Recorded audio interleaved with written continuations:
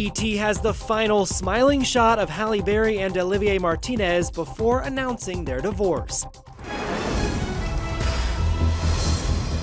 Here's Halle and Olivier, all smiles and hanging close together less than two weeks ago on October 17th. The now former couple was snapped at a Halloween Carnival fundraiser at their two year old son Maceo's school. It's the same fundraiser Channing Tatum and Jenna Dewan were at, where Channing dressed up like Pooh Bear. An eyewitness tells ET Halle and Olivier hung out with Maceo the whole time and were incredibly attentive to him, but didn't necessarily show much affection with each other. The last time we saw them looking lovey was back on August August 29th. That's when photogs caught Halle and Olivier out and about in West Hollywood, super cuddly and both still wearing their wedding rings.